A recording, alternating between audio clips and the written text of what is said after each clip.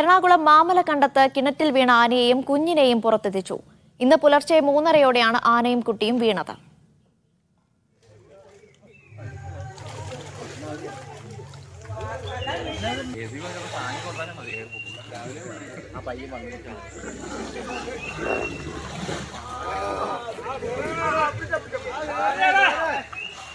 വിവരങ്ങൾ നിതിൻ സേവ്യർ നൽകും. നിതിൻ എപ്പോഴായിരുന്നു ഈ സംഭവം ഉണ്ടാകുന്നത്? ആനെ ഈ രക്ഷാപ്രവർത്തനം എത്ര മണിക്കൂറോളം നീണ്ടു?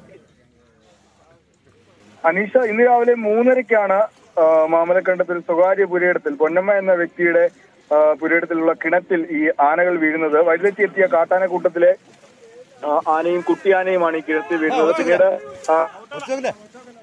ഈ ആന കിണറ്റിൽ വീണ കാര്യം ഫോറസ്റ്റ് ഉദ്യോഗസ്ഥരെ അറിയിക്കുന്നത്.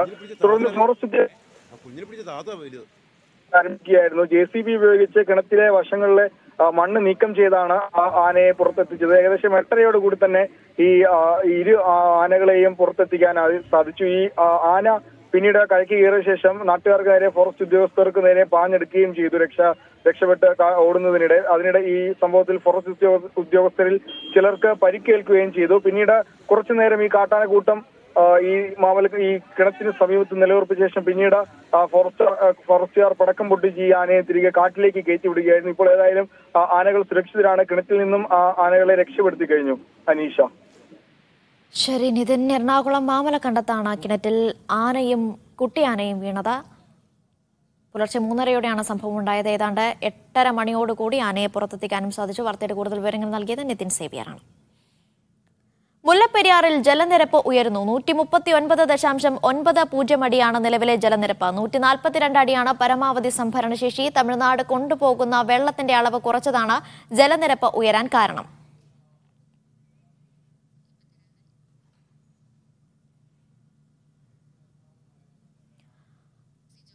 സിജോ നൽകും വാർത്തയുടെ കൂടുതൽ വിവരങ്ങൾ. സിജോ ആശങ്കപ്പെടേണ്ട ഒരു സാഹചര്യമുണ്ടോ?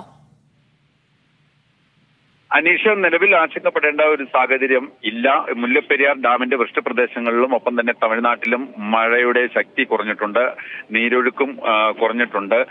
എന്തായാലും നിലവിൽ ജലനിരപ്പ് നൂറ്റി മുപ്പത്തൊമ്പത് പോയിന്റ് ഒമ്പത് അടിയിലേക്ക് എത്തിയിട്ടുണ്ട്. നൂറ്റി നാൽപ്പത്തി രണ്ട് അടിയാണ് ഡാമിന്റെ അനുവദനീയമായ പരമാവധി സംഭരണശേഷി സെക്കൻഡിൽ രണ്ടായിരത്തി അമ്പത് ഘനയടി വെള്ളമാണ് ഡാമിലേക്ക് ഇപ്പോൾ ഒഴുകിയെത്തുന്നത്. തമിഴ്നാട് കൊണ്ടുപോകുന്ന വെള്ളത്തിന്റെ അളവ് കുറച്ചതാണ് ഡാമിലെ ജലനിരപ്പ് ഉയരാനുള്ള പ്രധാനമായ ഒരു കാരണം. സെക്കൻഡിൽ മുന്നൂറ് ഘനയടി വെള്ളം മാത്രമാണ് തമിഴ്നാട് കൊണ്ടുപോകുന്നത്. അത് അതായത് നൂറ്റി നാൽപ്പത്തിരണ്ട് അടി വരെ പരമാവധി വെള്ളം സംഭരിക്കാം. അതിലേക്ക് എത്തിക്കുക എന്നതും അല്ലെങ്കിൽ അതുവരെ കാക്കുക എന്നതാണ് തമിഴ്നാട് സാധാരണ രീതിയിൽ സ്വീകരിക്കുന്ന ഒരു നയം. നൂറ്റി നാൽപ്പത്തിരണ്ട് അടിയിലേക്ക് എത്തിയാൽ മാത്രമാണ് ഡാമിന്റെ ഷട്ടറുകൾ ഉയർത്തി കേരളത്തിലേക്ക് പെരിയാറിലേക്ക് വെള്ളം ഒഴുക്കുക നിലവിൽ അങ്ങനെ ഒരു സാഹചര്യം ഉണ്ടായാൽ എത്രമാത്രം വെള്ളമാണോ ഡാമിലേക്ക് ഒഴുകിയെത്തുക അത്രമാത്രം വെള്ളം പെരിയാറ്റിലേക്ക് ഒഴുക്കുക എന്നൊരു സമീപനമായിരിക്കും തമിഴ്നാട് സ്വീകരിക്കുക. എന്തായാലും ഇപ്പോൾ നിലവിൽ ആശങ്കപ്പെടേണ്ട ഒരു സാഹചര്യം ഇല്ല അനിഷ.